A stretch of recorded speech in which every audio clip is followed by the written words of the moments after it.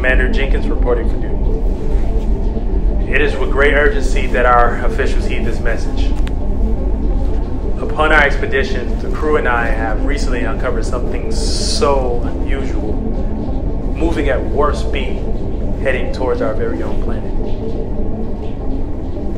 I'm afraid to say this thing could hit within two weeks or less. It is time now to warn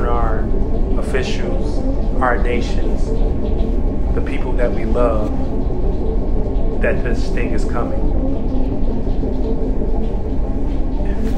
I don't know what type of impact this thing will have, but it'll be brutal.